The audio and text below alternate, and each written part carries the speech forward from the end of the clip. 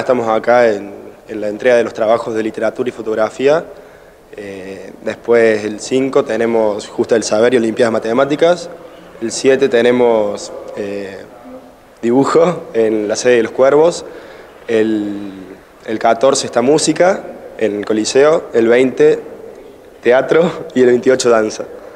Las dos, teatro y danza también en el Coliseo.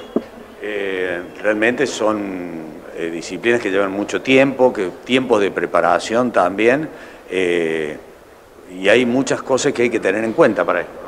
Sí, sí, por eso nos gustó avisar con tiempo para que bueno, estén todas las escuelas preparadas y se puedan presentar la mayor cantidad de escuelas posibles. ¿Cuáles son las exigencias para que una escuela se pueda presentar?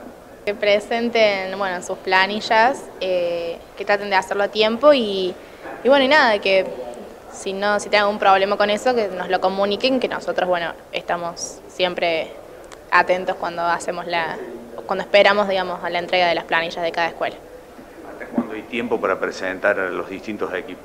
Y se va a ir avisando eh, según la semana de cada rubro, por ejemplo. Ahora estamos recibiendo los trabajos de literatura y fotografía y seguramente ya en unos días empecemos con lo que es eh, música, que es también lo más cercano que tenemos, y bueno, y dibujo.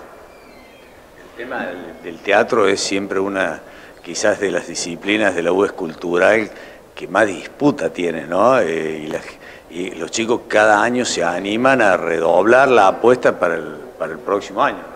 Sí, esperamos que también ahora que no hay más aforo ni capacidad, digamos, para los participantes, se animen y, y también las personas que les interese y quieren ir pueden hacerlo. Lorenzo, bueno, recordemos las fechas para que la gente vaya agendando. El 5 están las Olimpiadas de Matemáticas y la Justa del Saber en la sede de los Cuervos. Eh, después el 7 está Dibujo, también en la sede de los Cuervos. El 14 está Música en el Coliseo. El 20 Teatro en el Coliseo también y Danza el 28 también en el Coliseo.